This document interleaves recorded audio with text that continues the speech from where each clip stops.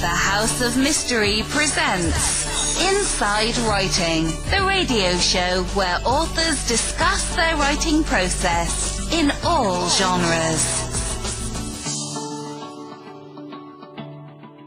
Now joining us, like we said before the break, we have uh, uh, Vic Feazell. Thank you for being here. Thanks, Alan. It's good to be on your show, and, and you too, Mike. Thank you for having me on. Yeah, we're super excited to talk to you today, Vic. Now, Vic, um, now, now, now, what happened to you in this whole whole scenario um, in the Confessions Killer that we watched on Netflix?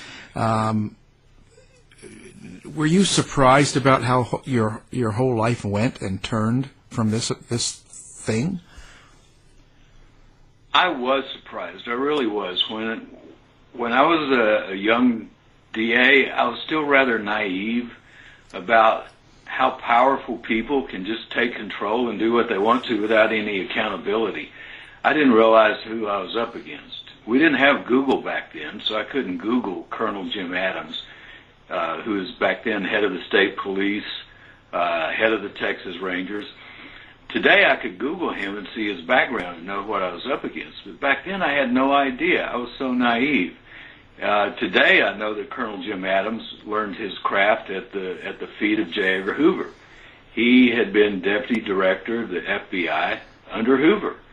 While he was under Hoover, he was uh, he was head of the domestic spy program.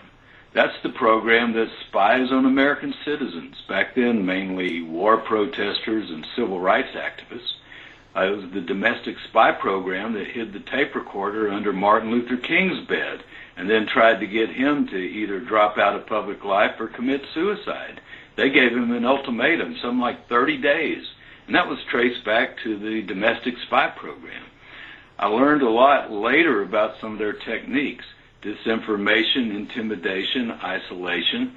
And when I pissed off Jim Adams, when I made Jim Adams mad, uh, they came after me with every kind of cloak and dagger technique that they had used when he was head of the domestic spy program. And it shocked me. It really did. Uh, what I had seen was something going on with these Lucas confessions. Uh, he had confessed to three in McLennan County, Waco, where I am, where I was DA. And to me, it was obvious he hadn't done them. One, we had a really good suspect on. He had already said he was going to confess to it if we convicted him on a companion crime. But while that was going on, Lucas confessed and then he shut up. We did convict him on the companion crime. He had been uh, kidnapping prostitutes from East Waco, taking them out in the woods, raping them, and then stabbing them. Uh, so we got a life sentence on him. Then Lucas confessed to Rita Salazar, a young girl who had been kidnapped with her boyfriend just north of Austin when they ran out of gas.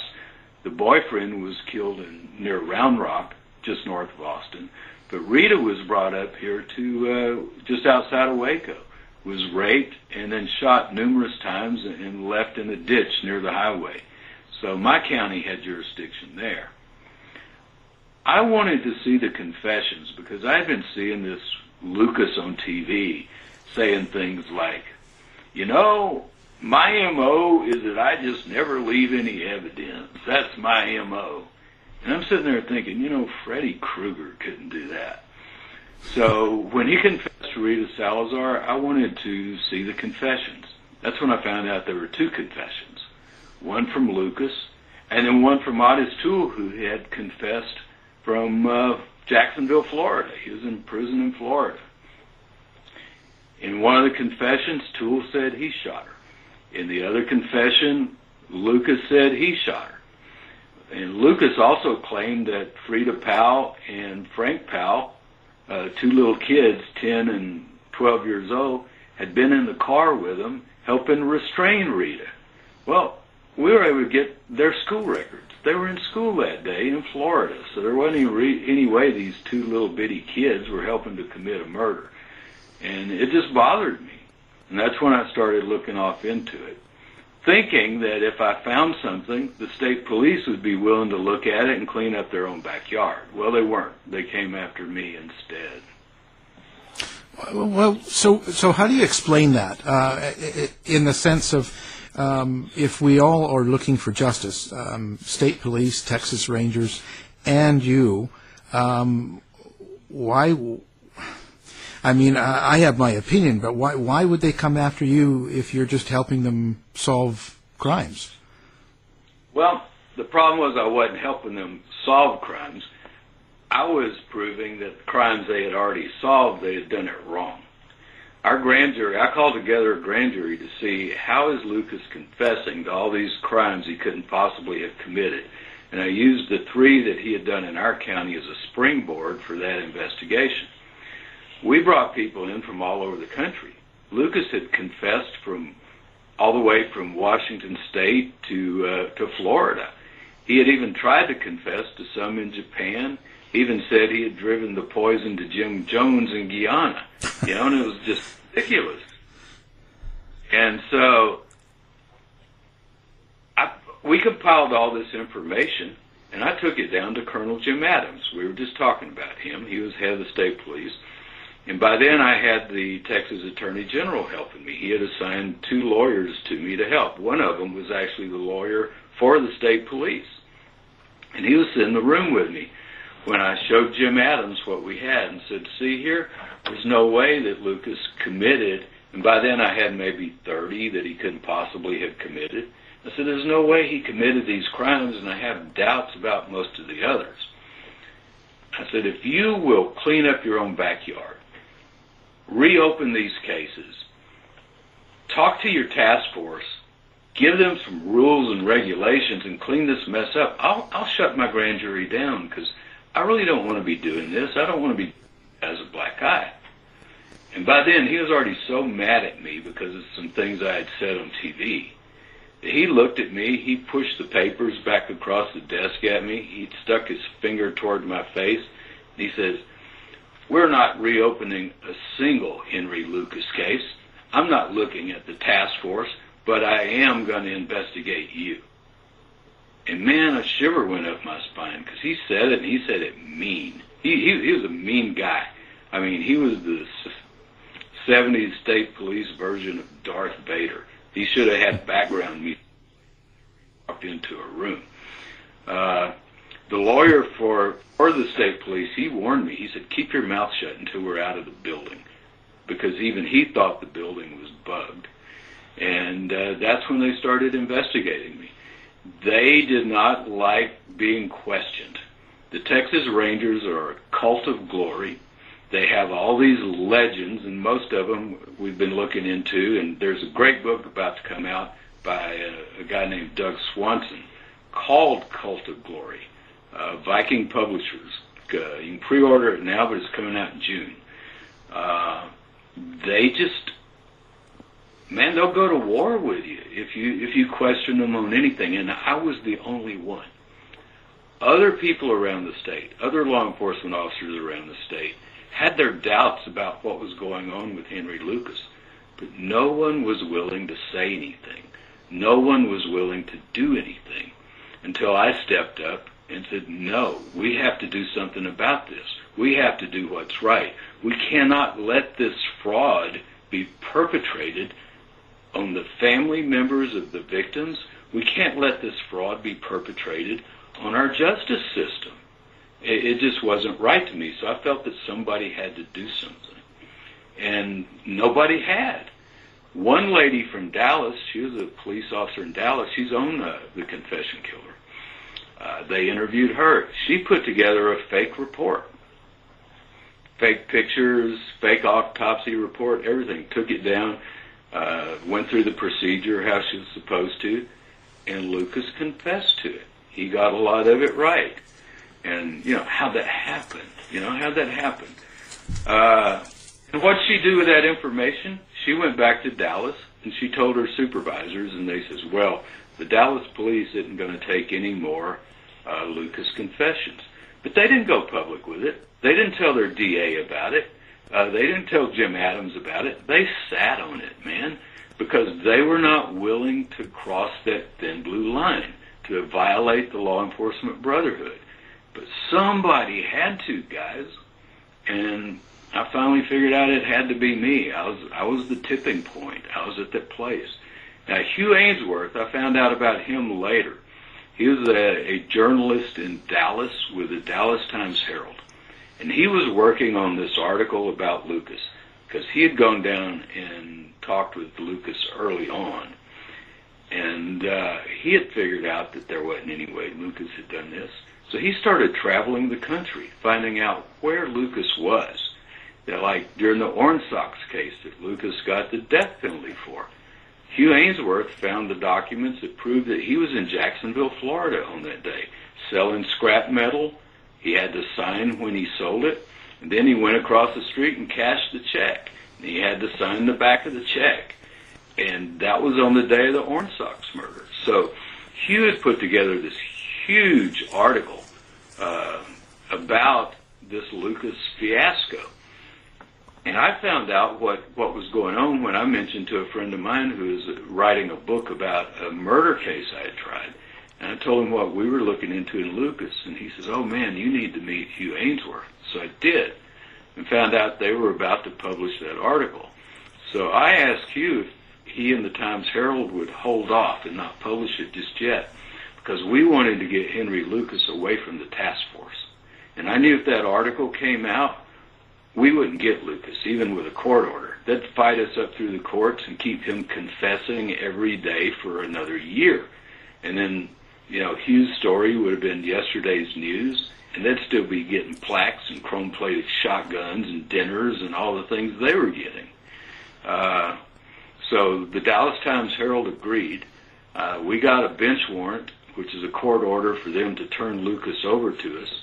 And when we got Lucas away from them, Hugh Aynesworth was one of our first witnesses before the grand jury, and he laid all that information he had gathered out in front of the grand jury. And then the day after that was when the Dallas Times Herald published that article. And then it just went crazy after that. So Hugh Aynesworth is a big hero of mine, and I think the world of him. But if I hadn't had that grand jury, if I hadn't been calling them on the carpet legally, uh, because I was the only law enforcement officer willing to do it, I'm afraid Hugh's article would have become yesterday's news. Henry would have kept confessing.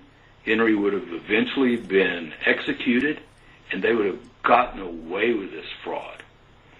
Uh, wow. So now, how long was it before you had 19 agents um, coming to your house and office and arresting you and uh, and and what was it that they were trying to arrest you on? They wanted to arrest me for anything. They investigated me for everything possible.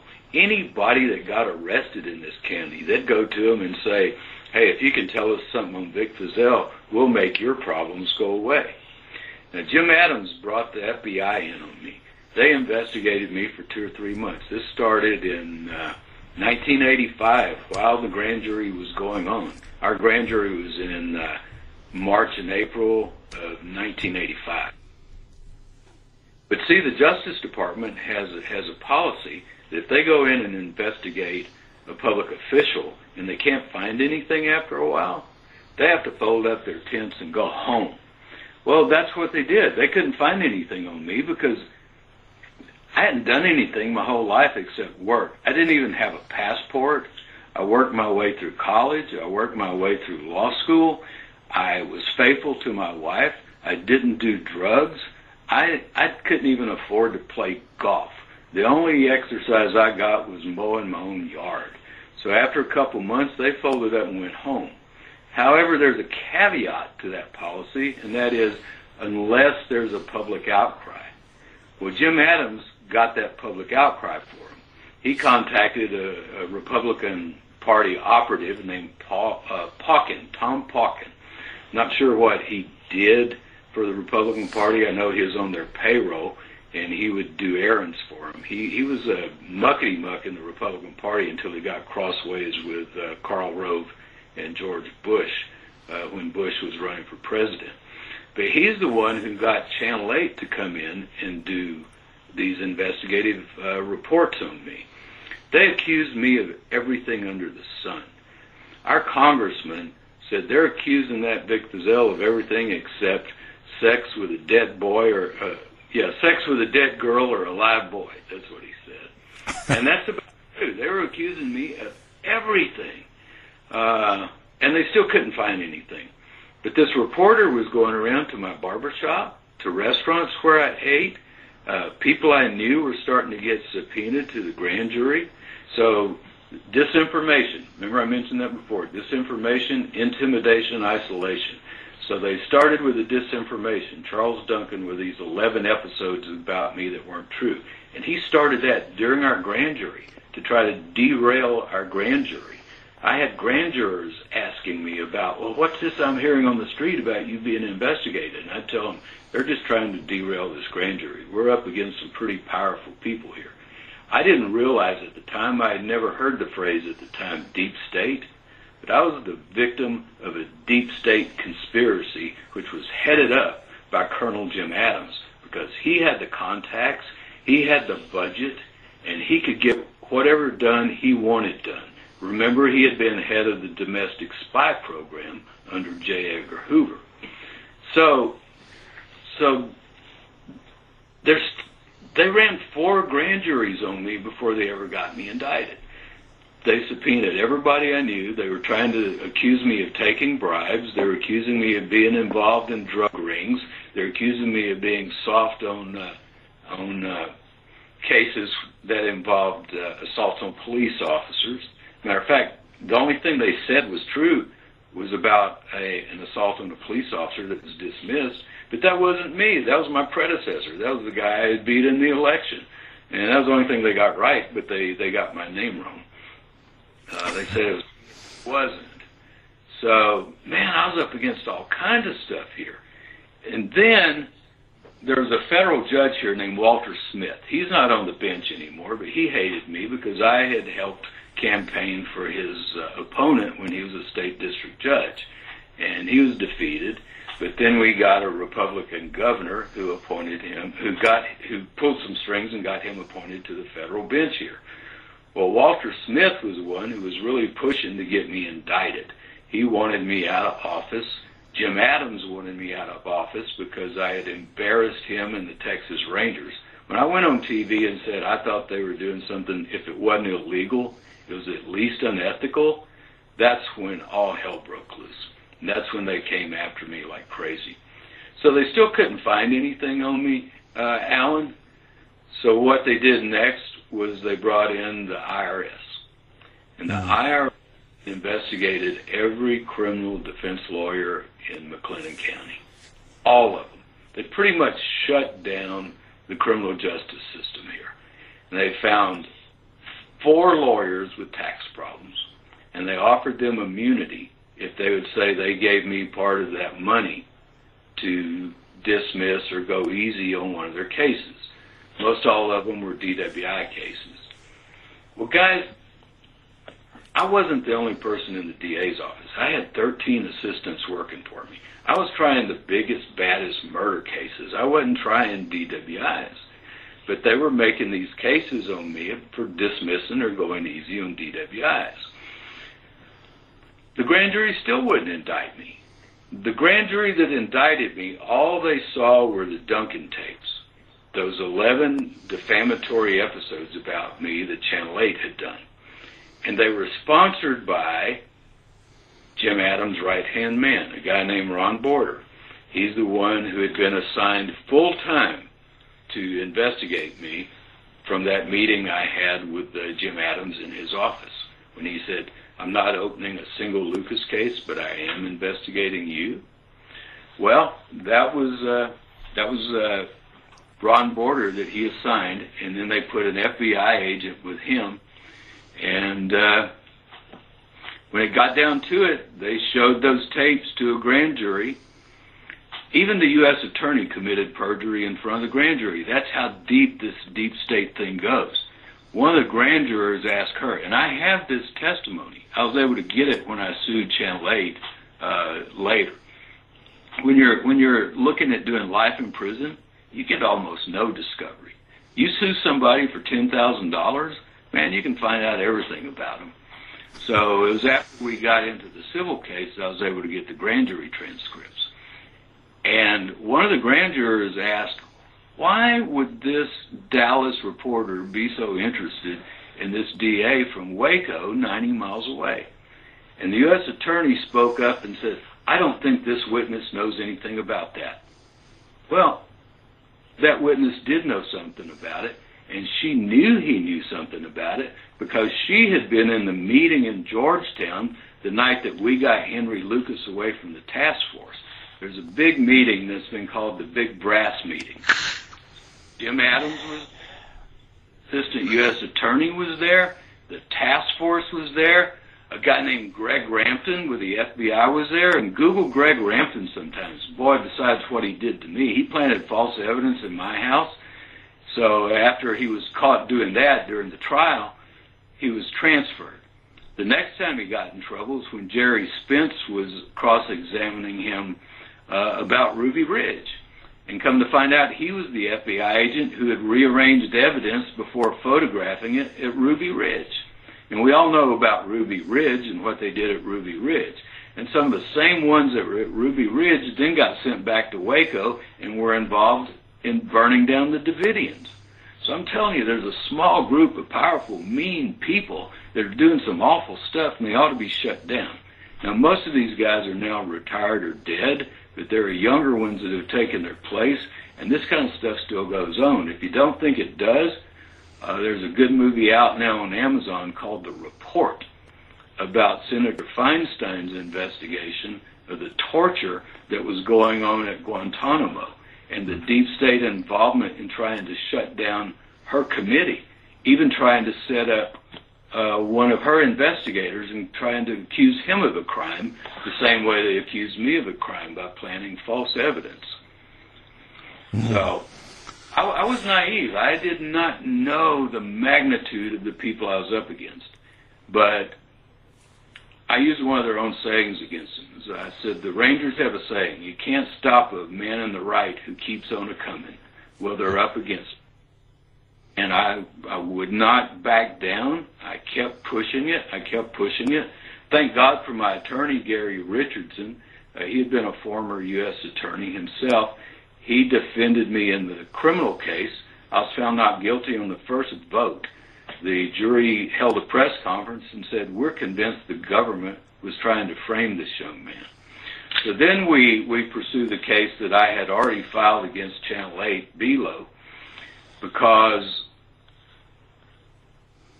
I wanted to be proven innocent. A lot of people were saying, well, the government just didn't meet their burden of proof.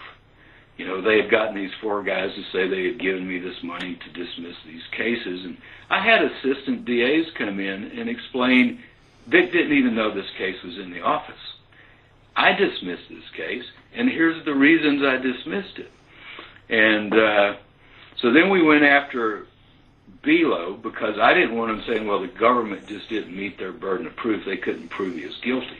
So as a public official, I had to take the burden of proof on myself and prove that every single word they said in those 11 episodes, and those 11, 11 episodes included the, the uh, bribery allegations that I had gone to trial on.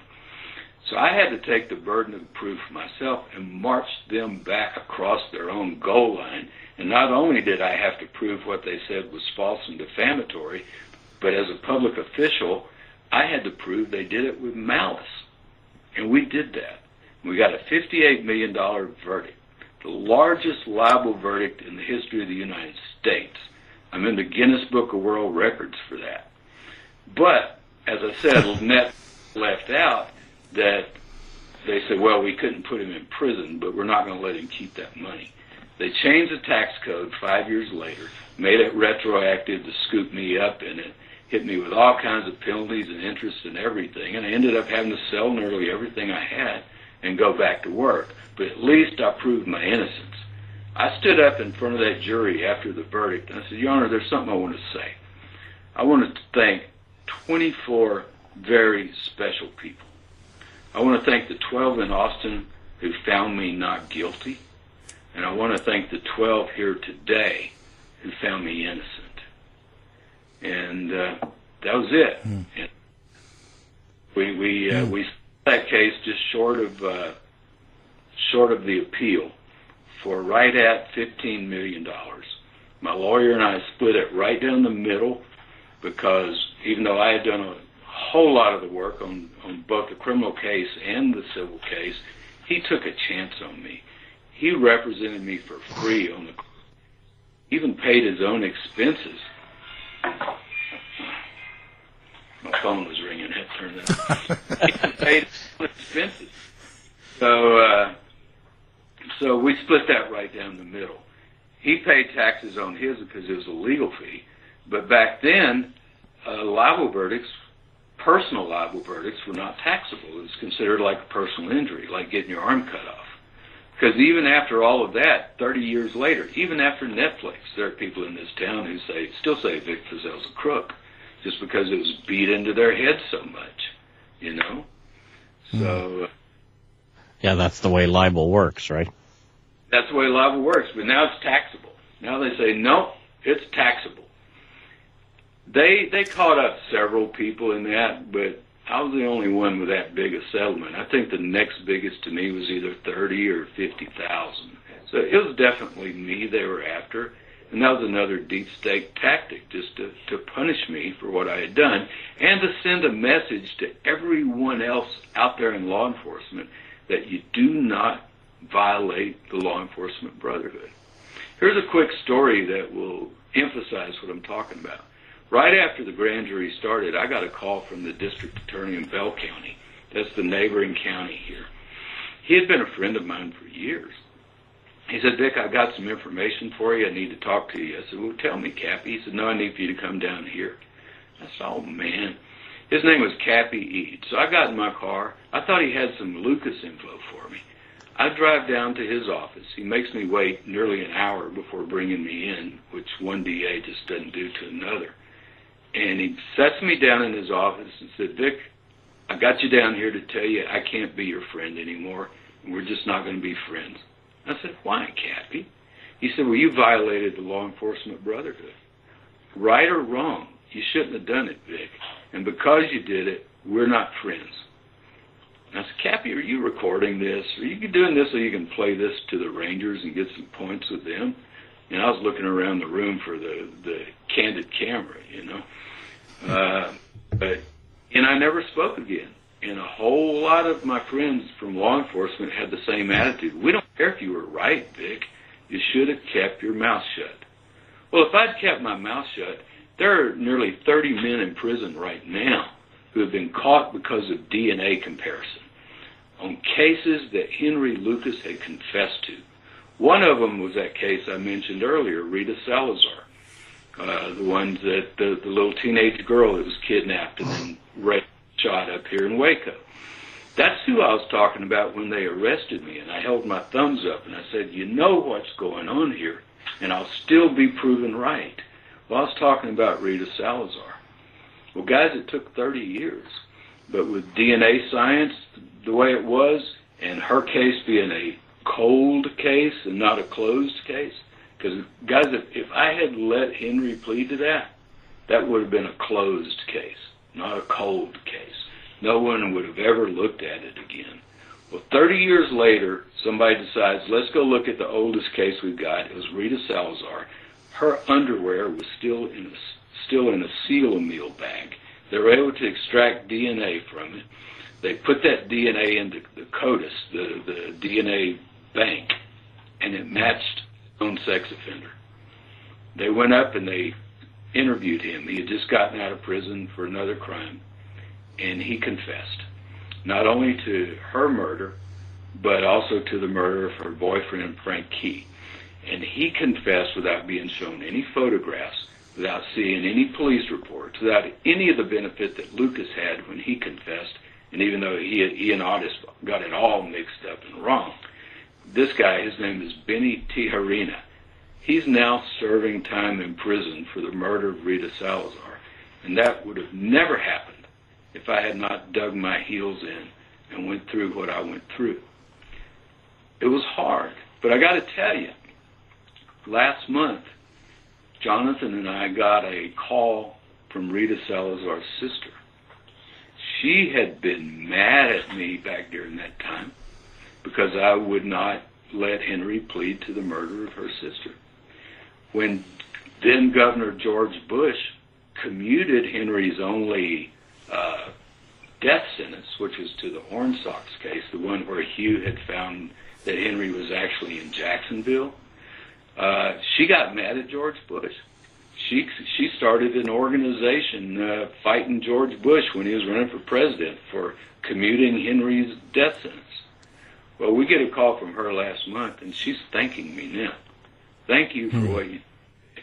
Because if you hadn't done that, the real murderer of my little sister would have never been caught. Mm. It's it's come full circle. Except for my money. Now, if Congress wants to talk about reparations, they ought to do some reparations for me, damn it, because I, I was of a deep state conspiracy. It was just punishment for me doing the right thing. They want to talk about reparations. Hey, let's start with Vic Feazell. yeah. yeah. Good luck, eh? Uh, now, now, the um, after all of this, you went and started representing Lucas, and yes. and in some of these cases, what what can you tell us about that? Well, I didn't want him to get another death penalty. I didn't want him to be convicted of another one because I was thoroughly convinced he hadn't done any of them. I still have my doubts about Kate Rich and Becky Powell. Uh, most experts say he probably killed three: his mom, Kate Rich, and Becky Powell. Well, I've really studied the paperwork on Kate Rich and Becky Powell, and I know who the men were who were involved in that situation. One of them was Ranger Phil Ryan. And on my podcast, The Vic Feazell Show, we've always been very respectful to Phil Ryan until I saw uh, The Confession Killer and heard him saying things like, well, Vic Feazell had an axe to grind with the Texas Rangers. All he wanted to do was give us a black eye. Well, that's just absolutely not true. Absolutely not true. What I wanted was the truth. And I can't believe that Phil Ryan would still be saying something like that, even with all the evidence that's come out, even with 30 people now being in prison for crimes that Henry had confessed to, thanks to DNA. So what I did was after I got my settlement from Belo, I spent a lot of it traveling around the country representing Henry Lucas to make sure he didn't get convicted again. And you know what? Once I would sit down with the DA and lay out the information I had. A lot of it had been gathered by the grand jury. A lot of it had been gathered by Hugh Aynesworth and laid out that information saying, I can prove that Henry Lucas was a thousand miles away at the time this murder happened. I never had to go to trial. Never. One of them, uh, I had to go to Florida for this one. Henry was accused of killing the father of the sheriff uh, of a small county in Florida. So I flew to Florida. I had to drive like 90 miles from the airport to get to that jail. The jailer takes me back and locks me in the jail with Henry Lucas. And I'm, I'm glad I already knew Henry from before and had spent good time with him from before and knew that he really wasn't dangerous and he really isn't schizophrenic either. Because I had worked with for MHMR before I became DA, and I had been around a lot of schizophrenics. And I'm telling you, Henry was not schizophrenic. So anyway, they left me locked in that jail from the time I got there until it was getting dark. I didn't know if I was ever going to get out of that jail. But I was able to convince the prosecutor the next day that they didn't have a case here. And I talked with the sheriff and I said, Do you really want to lock somebody up for the murder of your daddy that didn't do it? Or would you rather keep this case open and hopefully find out who really did kill your daddy someday? And I got through to that man. I got to say, I really did, and he, he was very receptive. The DA was receptive. They dismissed that. Another significant case I represented him on was a murder up in Texas. DNA had just come out then, the DNA comparison science. And I said to the DA up there, let's bring Henry to Tyler, stick a needle in his arm and pull out some blood, and let's do some DNA comparisons because they had been able to preserve all the evidence from the murder that had happened in Tyler. An elderly woman had been murdered. And they had some DNA samples that they had taken. She had been raped and murdered. Well, it didn't match Henry.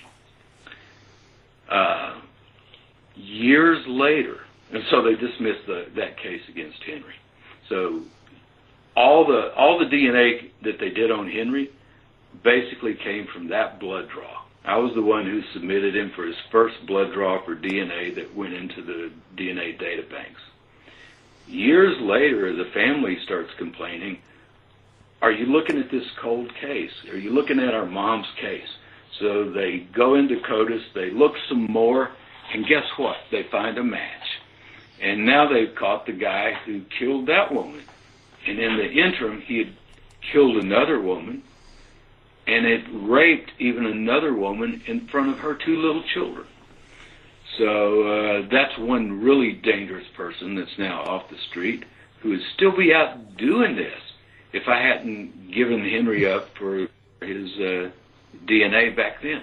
So yeah, I, I went around and it didn't take very many. I represented them on eight or ten, and after a while, they all just started folding. Man, they just started folding. They didn't want anything to do with it because they realized it was all bogus. Yeah. And so cases started being reopened all over the United States back then, which would not have been open, would never have been open if I hadn't dug my heels in right here in Waco, Texas, and pissed off Jim Adams and uh, got it all started. Because um, nobody in law enforcement was going to stand up to them. Yeah. So Ottis Toole, Henry's partner, Lucas's partner, was uh, also notorious for confessing to a lot of murders, and one in particular is the uh, more famous case of uh, Adam Walsh. Um, what are your thoughts on on Ottis Toole? Well, you know, the Florida uh, Department of Investigation, or whatever their top police are down there, a few years ago, they finally closed that case out and said, yeah, it was Ottis that did it. There's no evidence at all that Ottis did that case. Quite frankly, there's plenty of evidence that he didn't do it. I do not believe that that Ottis Toole killed Adam Walsh. I don't think Ottis Toole ever killed anybody except maybe one guy he burned up accidentally in a house one time. Uh, no, these these guys were not serial killers. They just were not. And Ottis, he he never even left uh, left Florida. He might have taken one quick trip up up to the Northeast one time. But all this stuff about Ottis and Henry being these traveling companions and and travel thousands of miles to kill this person and then thousand miles the other direction to kill another person, that's all BS. None of that yeah. happened. Those I think that too. Car that ran. I'm sorry. What you? I said I, I feel that way too, but uh, it's kind of, uh, you know, the case closed stuff is, yeah. Yeah, I'd like to look into the Adam Walsh case someday, but you know, he's got a very powerful daddy, and yeah. Rob Kenner, who directed uh, the Confession Killer, he didn't want to look at that one, just because it, it would have caused some political strife because of Adam's dad being so uh, rich and famous. But no, I do not believe that Ottis Toole killed Adam Walsh. Not in a million years, no. Show me some evidence. Show me some proof. Not just Ottis's confession. Mm. So, so what are you what are you kind of hoping that people get out of uh, out of seeing the confession killers or um, listening to you? Like, what what are they supposed to think about the justice system? Well, I hope what they get is is don't take anything at face value. If you're going to be on a jury, don't believe that guy's guilty just because he's been indicted. Make them put on their evidence. We live in America where the prosecution has the burden of proof. The defendant can sit nothing. He's innocent until proven guilty. However, in our justice system, when a juror walks in, most of the time the guy in the defendant's chair is presumed guilty until proven innocent. That's not our Constitution. It shouldn't be that way. And I'm asking all of our citizens to take law enforcement and hold their feet to the fire. Make them up the evidence and make them prove it to you beyond a reasonable doubt. And don't believe it just because somebody in power says it. That's what I'm hoping for. And I'm also hoping that that Netflix will wake up and do a season two because they've already done all the all the filming They've got enough for a second episode. about the deep state versus Vic Feazell. People need to know what happened to me because it can happen to you. You piss off the wrong people, you make the wrong people angry, it can happen to you. There are so many powerful people in some of these agencies like the FBI and the CIA and some of these subcontractors who have limitless budgets, limitless power, and no accountability. They can thumb their nose at the U.S. Senate, just like they did Feinstein and just like Jim Adams did the Senate committee that was investigating the domestic spy program. He basically thumbed their nose at them. He told them, we have at least 8 million files on American citizens. And the way he looked at them, and we, we've got copies of that video. The way he looked at them, he was sending them the message, I've got files on you. So all they did was slap him on the wrist, and a few years later, he was able to export all his cloak and dagger stuff to the state of Texas. And then I was one of the first people that he used it on. Now, he was eventually taken out of DPS by the DPS board because they started seeing the pattern. He did not only did it to me, he did it to a county attorney in uh, in West Texas, and he did it to a sheriff in South Texas, and they started seeing the pattern. He resigned from office about a week before I went to trial because I think they knew in their hearts they were never going to be able to convict me. They just wanted me to have to take the ride.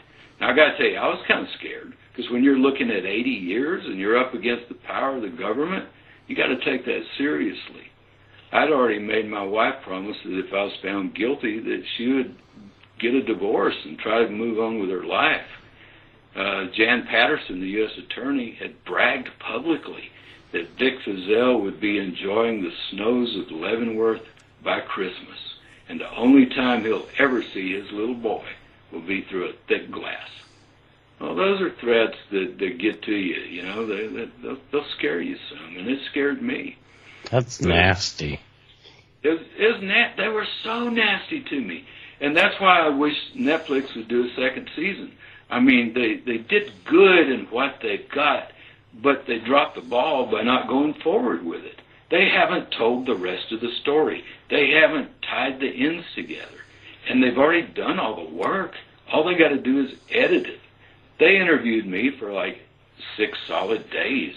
Uh, some in Austin, some in Waco, and then they flew me out to LA twice. They interviewed a lot of other people who can add to this story and open people's eyes about what the government can do to you if they get mad at you. So I'm really hoping that if, if Robert Ken, Kenner doesn't want to do it, because I know he's moved on to bigger and better things now. I mean, when this started out, it was going to be 10 episodes. Then he had to turn down the documentary RGB, Ruth Bader Ginsburg. And I could tell that bothered him. Then he was offered another big one. I'm not going to mention the name because he may be under a non-disclosure and he may not have told, should have told me about it. But it's a big documentary, and he wanted that one. So suddenly it went from 10 episodes to, oh, Vic, it's just going to be eight. And then it's going to be six. And I found out the week before it aired that it was only going to be five. So they just basically just chopped it off in the middle. Uh, it's, it's there's a lot more story to tell here. I'm hoping maybe Taki Oldham, who is the uh, other producer director, might pick it up.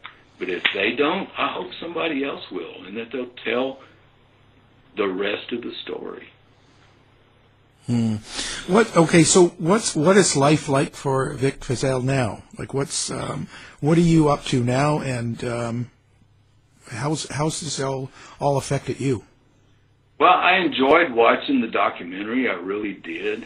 Uh, I was disappointed that it didn't go further, but as far as effect on my daily life, it's gotten us uh, more listeners for the podcast. I mean, we have worldwide listeners. We have we're surprised at how many listeners we have in Japan. We figured out Henry Lucas is like a cult hero in Japan. So we do our podcast. Jonathan and I put out one or two episodes a week, and the rest of the time I practice law, man. I'm I'm almost 69 years old, and I still come to the office every day. I'm still trying lawsuits. I'm still managing my office here in Waco, and I have one in Austin. Uh, we mainly do personal injury and a little bit of uh, of criminal defense. Uh, we'll only take 10 criminal cases at a time because they're they're time consuming and I don't like to lose and I really work them. Uh, so we'll only take 10 of those. Now I got to say, if I had 10 cases and somebody walked in with a check for a 100 grand, I'd probably say, okay, we'll take 11. But uh, short, of, it's just 10. So yeah, Yeah, well, groceries. you've got you've got millions anyway. So Yeah, that's what everybody thinks. No, I pay my bills just like everybody else. No, they uh, they they took it away from me.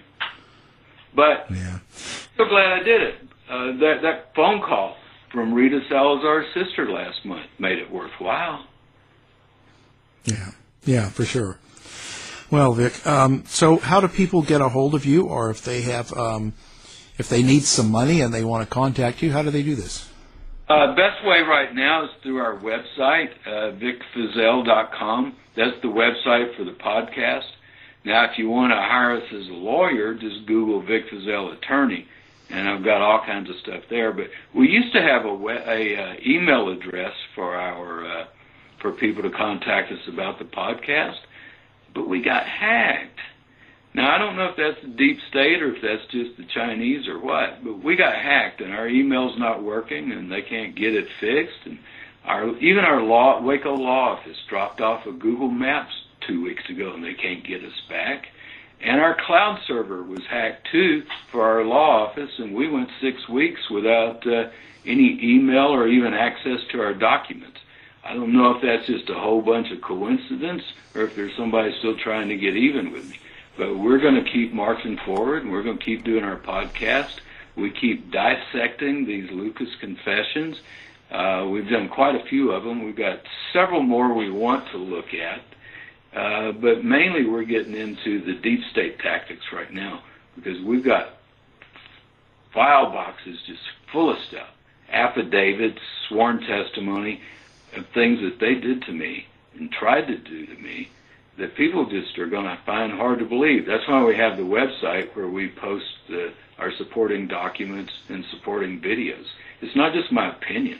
I don't say anything that I can't absolutely prove. Wow.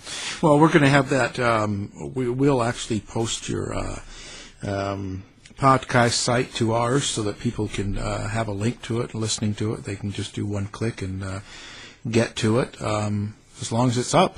That's so great. Thank you. It's the Vic Feazell Show. And uh, To find out more about our show, guests, or to listen to past shows from our archive, please go to www.houseofmysteryradio.com. The mission has been completed. The end. By George, he's got it. It is the end. I'll see you. If you're lying to me, I'll be back. This has been a production of Something Weird Media.